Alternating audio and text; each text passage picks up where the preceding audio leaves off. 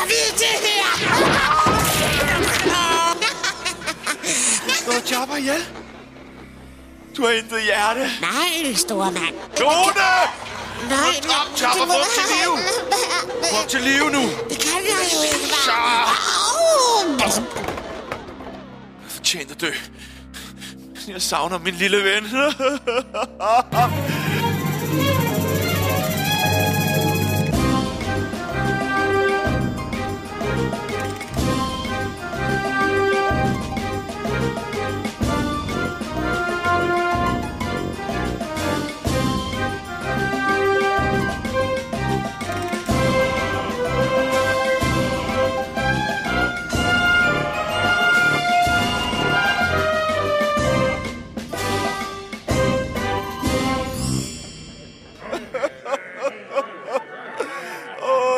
kan snart ikke drikke mere.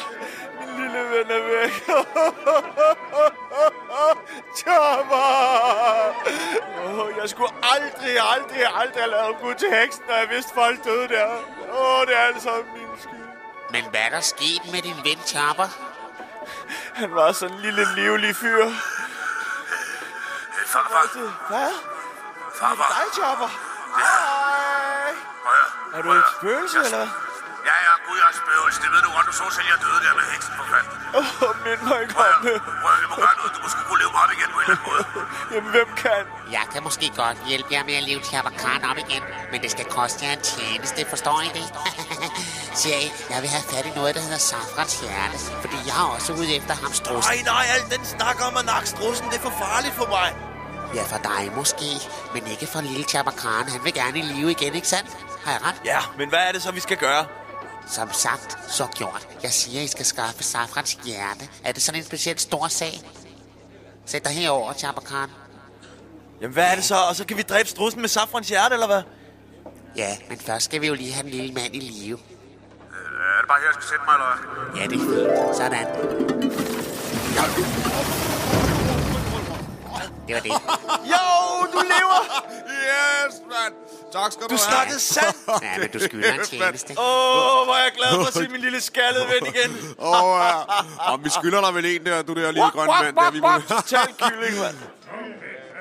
Ja, så skal I ud og skaffe mig hjertet nu, ikke også, dreng? Og I skal lige ride over bakken der mod nord, og så ride lidt mod øst, og så lige bag et lille hus, der ligger Kan vi så ikke for en gang skulle prøve at finde et member til, altså, så vi ikke skal derned alene? Hey, vi klarer det udmærket også, tror jeg. Jeg er i live igen, mand. Ja, men så må du fandme også komme i gang med dit tanking der. Jamen, jeg skal Du er ikke en skid er. værd uden det. Ja!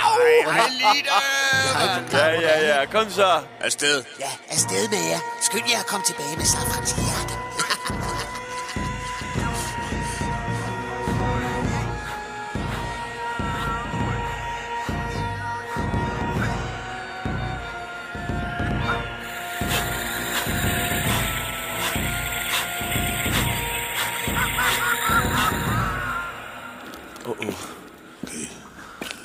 Det ændrer. De siger, der bor en øh, kæmpe monster med rundsave. Ja, det er ham, der er Safran. Det er hans hjerte, vi skal have. Koster nu.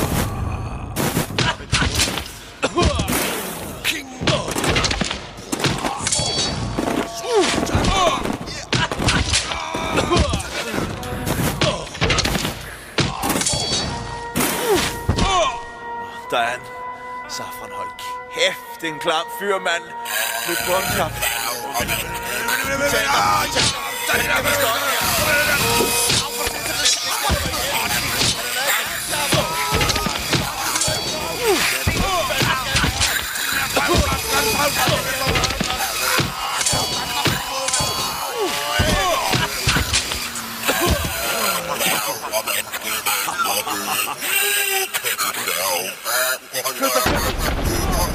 Fik ham, mand. Skal hjertet skal hjertet. Ja! 100 procent, mand.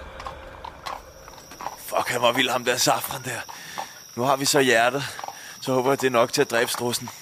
Jeg håber virkelig, han ved, hvad han snakker om ham. Dem på den anden side, jeg har aldrig set en, der genoplever en fra de døde.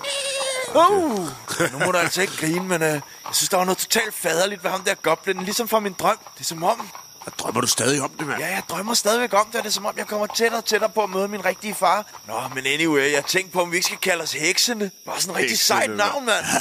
Heksene, mand. heksene, mand. For life. Vil farfar Neser og Chabakan overleve strabasserne? Vil strussen underlægge sig verdens herredømme? Se med i kampen om crack-diamanten.